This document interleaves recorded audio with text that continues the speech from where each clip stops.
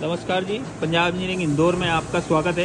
ये अपनी तीन एच डबल चेम्बर मल्टीपर्पज़ आटा चक्की है। इसमें आप सारे तरह के मसाले व अनाज ग्राइंड कर सकते हैं। अनाज जो भी हैं सारे तो यहाँ से अंदर जाएँगे।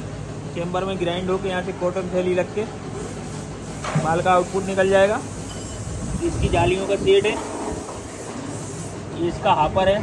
ये ड्रम है माल निकालने के लिए। ये चेम्बर सफ़ाई के लिए ब्रश कॉटन थैली के साथ में आएगी। ये भी तीन एचपी है। ये भी तीन एचपी है। इसका सामान है। और मोटर की पुल्ली साथ में आएगी, यहाँ पे मोटर लगेगी।